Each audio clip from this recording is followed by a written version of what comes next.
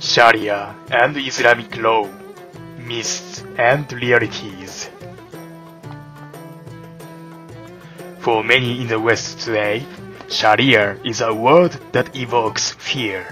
Fear of a medieval legal system that issues draconian uh, punishments. Fear of relegation of the women and religious minorities to second-class citizenship, fear of Muslims living as uh, separate communities who refuse to integrate with the rest of society, and fear that Muslims will seek to implement Sharia in the West.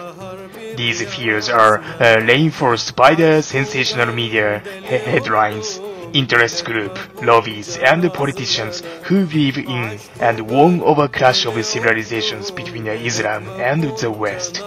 Yet, opinion polls and lived realities, both in Muslim majority countries and in the West, paint a, paint a more complex picture of Islam and what Sharia means to Muslims and buried laws, buried laws Muslim want it to play in the public sphere.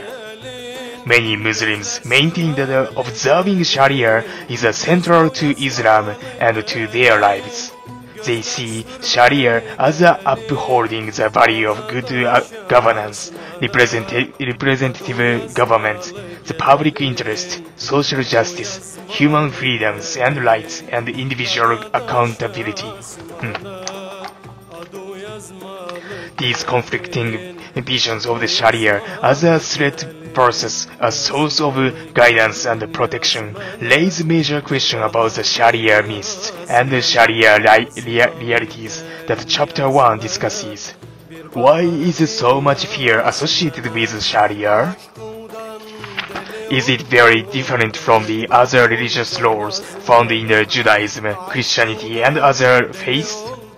Do, do Muslims in the United States and Europe want to replace Western laws with Sharia?